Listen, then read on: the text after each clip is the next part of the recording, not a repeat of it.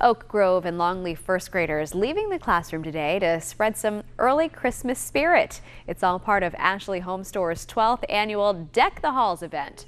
The students stopping by to bring canned goods for the homes of hope for a child. The students also helped decorate Christmas trees through the furniture store. Organizer Emily Voss says she hopes the kids walk away learning a bigger lesson today.